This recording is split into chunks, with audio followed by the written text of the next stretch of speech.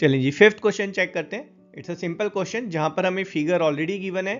Given is A B C D are four points on the circle and your code B D and A C they are intersecting at point E जहाँ पर angle B E C is 130 angle E C D is 20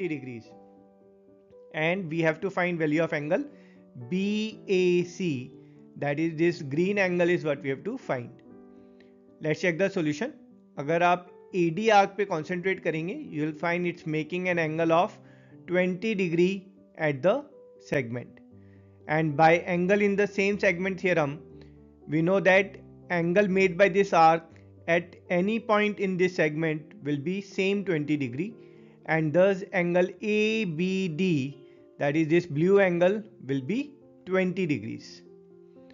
Now if we'll check triangle BAE here if we'll apply exterior angle theorem we know that this angle is exterior angle which is equals to sum of opposite interior angles. So we can say here 130 degree is equals to 20 plus angle BAC. This angle BAC is what we have to find. Simplifying it, we'll get angle BAC as 110 degrees and that's our answer. I hope you enjoyed the solution. I will see you in next video. Till then, tata, bye bye.